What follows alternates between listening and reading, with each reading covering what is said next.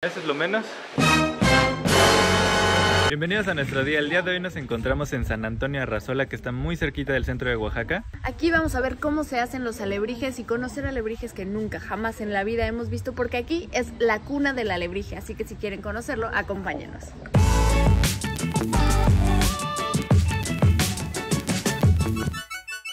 Nosotros llegamos hasta Oaxaca en Autotour, que es la van que pueden ver allá atrás. Ustedes la pueden rentar para su viaje en familia, para su viaje de negocios. La atención es 10 de 10, nos pusieron películas durante todo el camino, así que para llegar a Oaxaca no nos aburrimos nadita.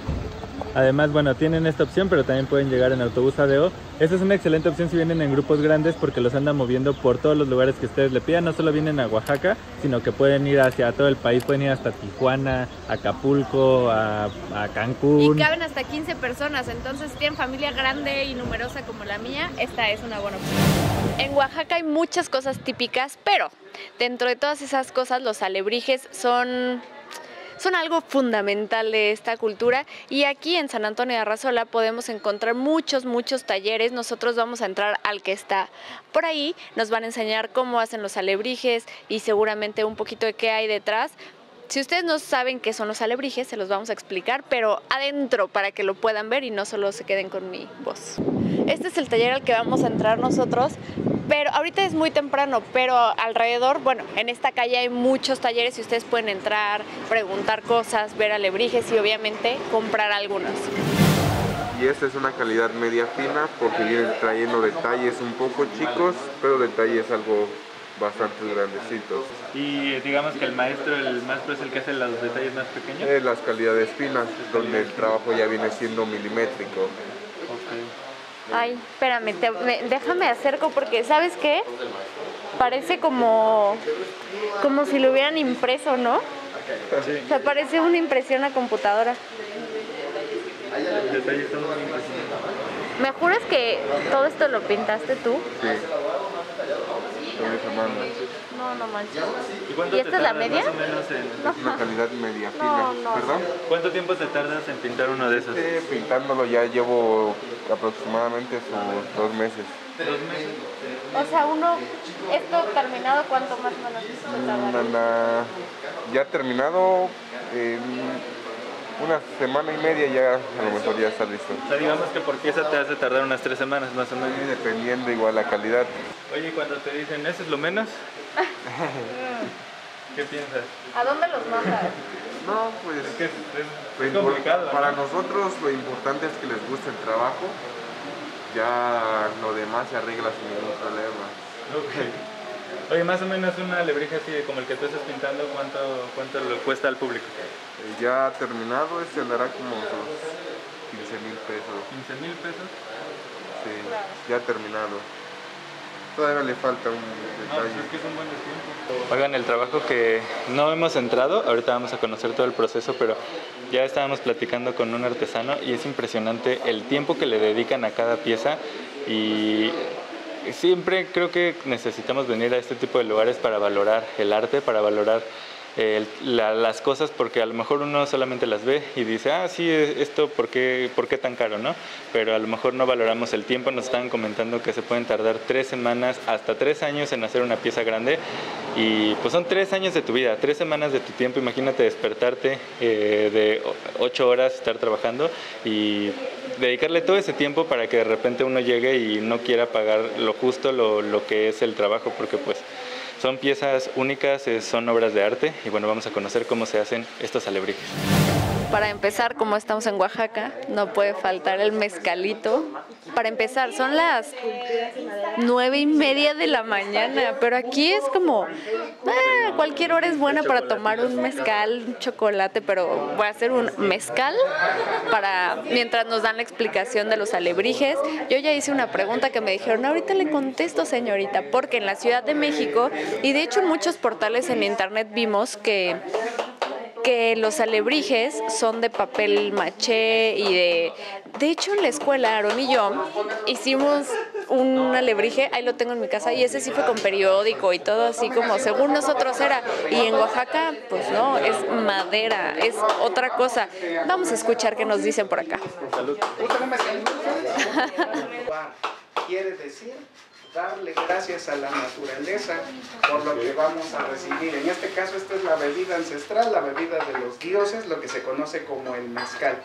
Antes que nada, muy buen día, mi nombre es Angélico Jiménez y vamos a dar una demostración de tallas de madera, animales fantásticos, tonas y nahuales zapotecas. ¿Por qué no alebrijes? Pasamos a un segundo punto ahorita para explicarlo.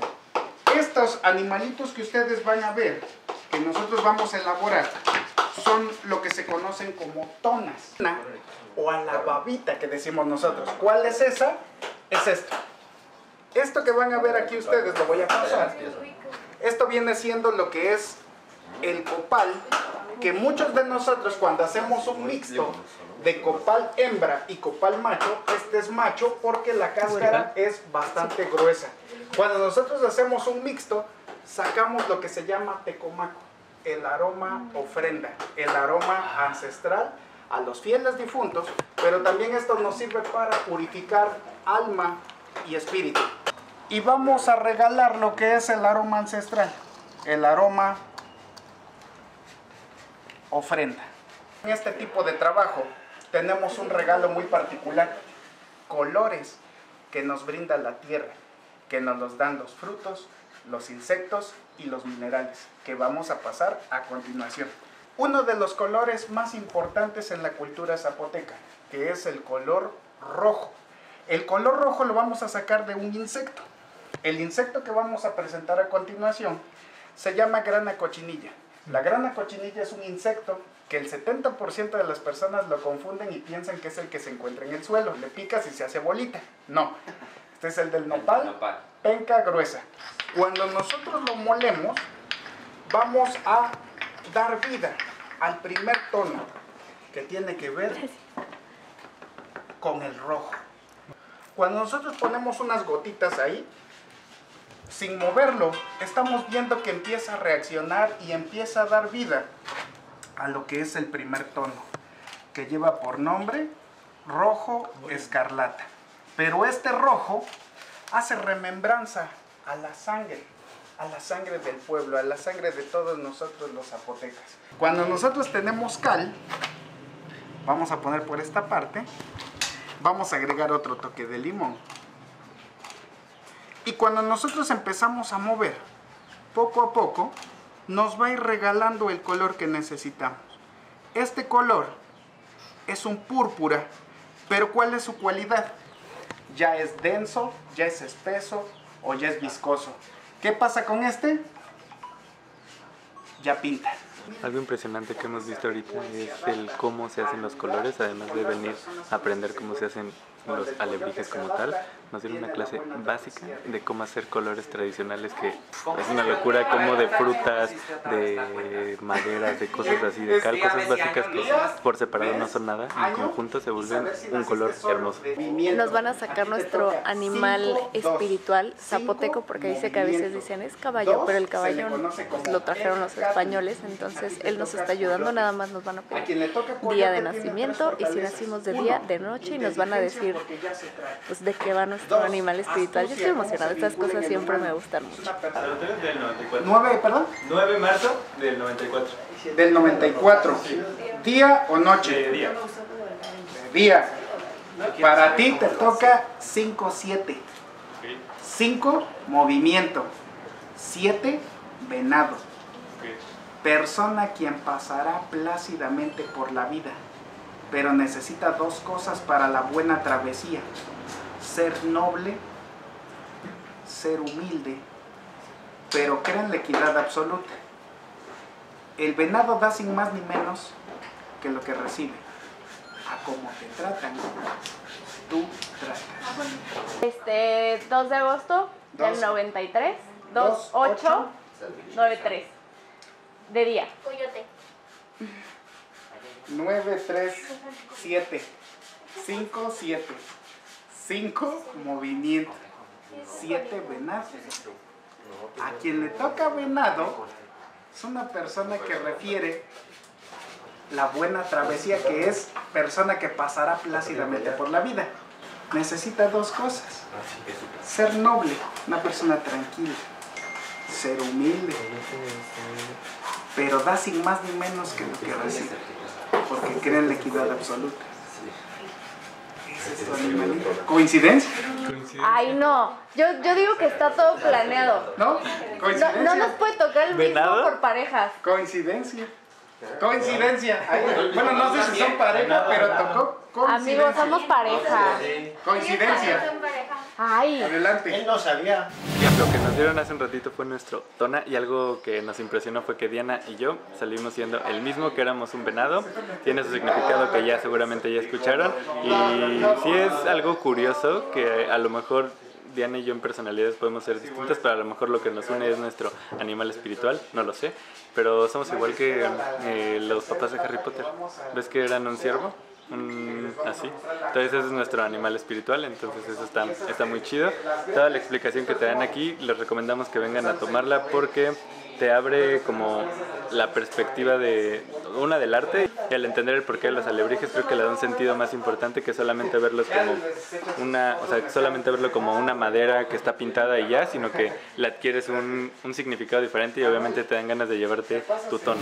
Llegamos a la Casa Museo Don Manuel Jiménez. Aquí nos van a dar toda la explicación. O sea, sí, allá nos explicaron los colores y vimos cómo tallaban y cómo pintaban los alebrijes. Aquí nos van a contar un poquito más de la historia. Y mi pregunta, que no me han respondido, por Dios. El autor de las tallas de madera, animales fantásticos en Arrazola, Oaxaca, es Manuel Jiménez Ramírez. ¿Y el del cartonista? Y el autor del nombre alebrije y de las obras de cartón de papel maché, Ciudad de México, Pedro Linares. Ok. Están los dos amigos, los dos personajes, los dos generales. Atrás viene el batallón, las nuevas generaciones. La casa aquí fue inaugurada el 16 de marzo del 2018 por el Instituto de Antropología e Historia de Oaxaca, México, que encontraron historia y el origen donde nació el tallado en madera por Manuel Jiménez y ahora trabaja su pueblo, San Antonio Razola, San Martín, Ticajete, La Unión, Tejalapa, La Sierra, Los Mijes, La Costa, San Pedro Tabichis, La Huaca, Cajono, Santiago, Tenango, Etla, 10 distritos dejamos el campo y a formar talleres familiares. Manuel Jiménez fomentó el empleo en Oaxaca. Ese es el artesano completo que talla y pinta lo que él hace. La horma se hace con el machete, así, aquí está ens- ensamblado, se va armando. Este es para pegar. Esta madera es, es cedro. Entonces aquí va a quedar así, van ensamblados sus patitas. Y se desarman así. Entonces ya que se hace la horma con el machete, va el cuchillo. Aquí ya está tallado, pero lo voy a hacer como es, así. Así nos enseñó, así fuimos a competir a China, así he competido con otros talladores y he tenido siempre éxito, he tenido mi récord, lo he mejorado haciendo en dos horas una figura. Que es una raíz cultural.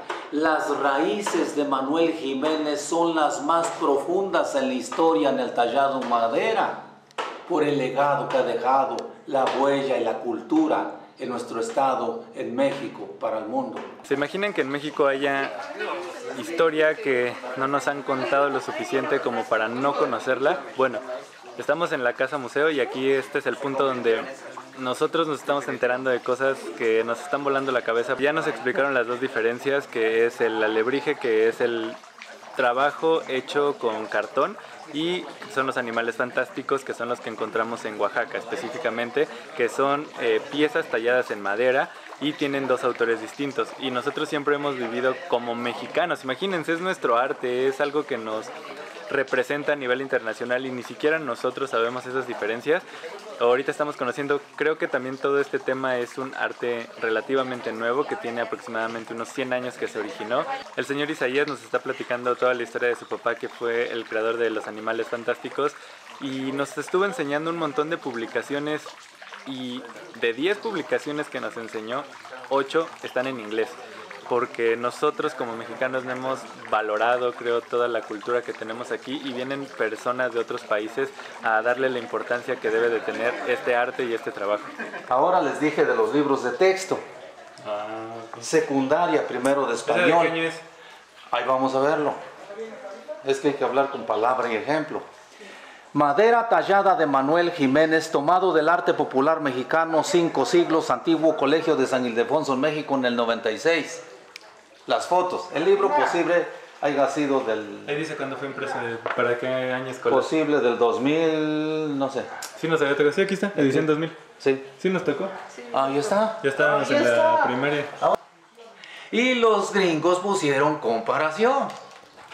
Ah, Ya.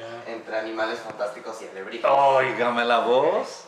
Eso es lo correcto. ¿Y por qué los extranjeros? Pues y aquí nomás nos enrollamos como que es ellos y ya están los orígenes. Y de ahorita. Hay que- ustedes lo que están haciendo es.